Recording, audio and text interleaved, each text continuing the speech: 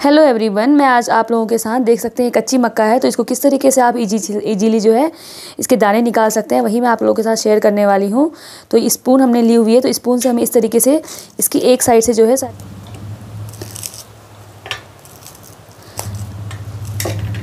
ये हमने दाने निकाल लिए हैं। अब जो हमारी लाइन बची तो साइड से इस तरीके से ऐसे करके हम हाथों से जो है इसको निकाल सकते हैं।